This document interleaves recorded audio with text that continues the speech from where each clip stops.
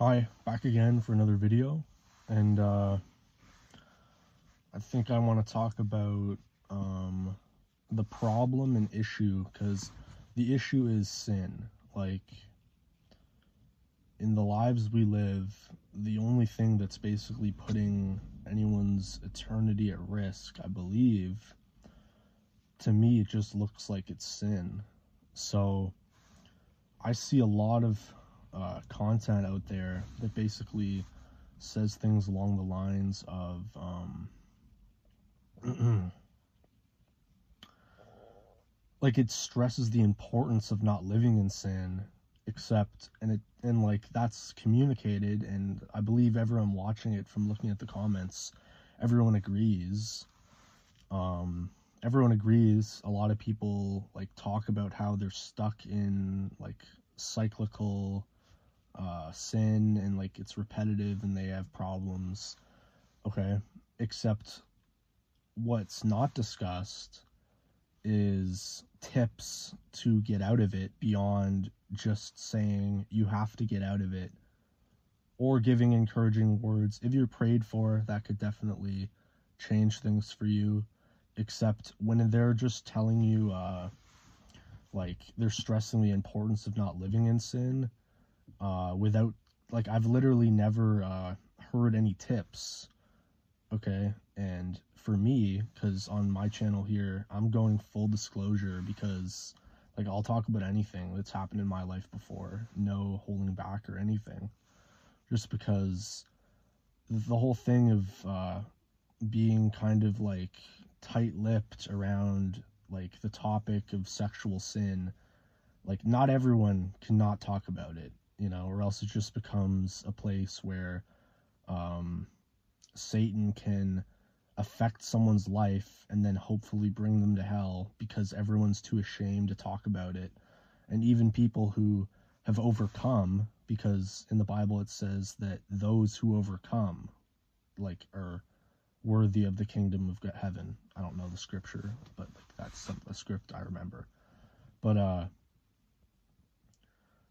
yeah, those people, anyone who's overcome sexual sin, like gotten into it, you know, opened that can of worms in their life and then found a way to close it, which a lot of people, they go through their whole life being unable to find out how to close it. They basically just get stuck. It takes, you know, more thinking and I don't know, it takes uh, more than a lot of people seem to be able to like give to get out of that whole issue of sexual sin it takes yeah it takes more than a lot of people have apparently because a lot of people get stuck in it their whole life like a lot. But uh yeah anyone that's overcome it i never hear any tips i just hear them saying they overcome it. Um obviously if someone gets married then that kind of changes things for them except for somebody who's you know at a time in their life where they're not married yet i'm not. Um then uh, you know, my tip that I found is the problem area is usually when you're in bed, okay, because there's nothing to do, and that's usually, you know, idle hands do the devil's work. Everyone's heard that one. So, yeah, when you're in bed, have nothing to do, and then it seems like you fall back on old habits like I was, which was I was in a repetitive uh, cycle of, of masturbation. Okay, and that was from, you know, when I was probably like 13 it started, and then onwards to like maybe like a year ago. Um, you know, I was stuck in that cycle and the thing is of like my tip of an actual an actual thing that you can do that's not just relying on your own willpower because a lot of people's willpower seems to fail them over and over and i don't hear any tips otherwise. The tip is is it's a real thing you go out and do. You have to get a dog okay? Get your own dog you know? Uh so i got myself a dog okay? So now uh it's a uh, little chihuahua, so just a small one. It's not like the food bill's crazy or anything. But, you know, it's just a really, he's a really loving little guy, and, you know, you get to love him. He's really cute. So yeah, but like he'll you can have your dog sleep with you in your bed and uh you know, you're not going to be doing sexual sin when you have your dog in your bed with you every night sleeping with you. And that's a literal like concrete tip that if you do, you can like, you know, physically through action help yourself break out of sexual sin if your willpower seems to be failing you cuz it's this isn't something that like you should just do nothing about physically and then just struggle with it mind and then do the sin and then struggle with it more mentally about how you you're so bothered that you're still in it and you're trying to break free. Well, this is a literal physical thing that you can do to end it right now today is you go out and you get yourself a dog. So that's that's my tip as far as that. That's literally what I did. And it's lots of fun to have a dog. Uh, a lot of people do eventually get one for themselves. Um, but yeah, a lot of people just live. Uh,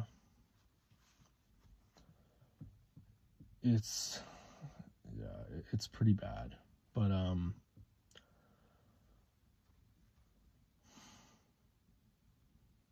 Yeah, that's basically what I wanted to uh, say. I was thinking of that for a couple days. Is that I wanted to get out my tip of what to do as quickly as I could. Car. But uh but yeah, it's important that you do take action because, you know, you don't want to just be idle with a problem that could have endangered your afterlife. Like the Bible says if your hand causeth you to sin, then it's better for you to cut it off than and enter heaven uh, missing a part of your body than to have your whole body thrown into hell. That that one. So you know that basically kind of says to me that like not only is it that serious that you're better to be maimed than to go to hell it's that you should do everything in your power before having to you know do that and like obviously you're not supposed to actually do that you know but it just speaks to the gravity of the situation of how serious it is and so I see the best cause, the best thing you can do really is just go out and get yourself a dog because that's taking action that'll fix your problem. And other than that, you just want to be busy. But for a lot of people, um, like, you know, when they're just in their bedroom, like having the dog there, you know, just always your companion in life, that like that's going to solve the problem for like most people really. Whereas they couldn't solve it before on their own, potentially. So taking action like that is a really good thing to do. Um, yeah. So, as far as talking about um, spiritual warfare, um, I mentioned this in my testimony video, but like the audio is pretty bad. So, basically, what I wanted to like just touch on just because talking about talking about spiritual things that have happened in my life are basically important to say you know? Because it's something i can talk on it's my own experience so. Uh so yeah when like the first time that uh i'd ever um committed the sin of masturbation i was like 13 years old. And uh it was on like a a laptop on a site. And uh and uh when I began doing that act literally um it wasn't fully like physical except some sort of like a a mass of something I felt literally enter my mouth and slide down my throat and it went down like the pipe into my stomach, then settled in the bottom of my stomach, and it had heat to it, it had weight to it. It stretched my throat out slightly as it went down, and I just froze up, thinking, um, like, like this feels dangerous, but like, is this some sort of like a a natural body occurrence? Like it, it kind of froze me up just because I'd never felt my body do that anymore, like before something literally entering me and going down my throat. And it just like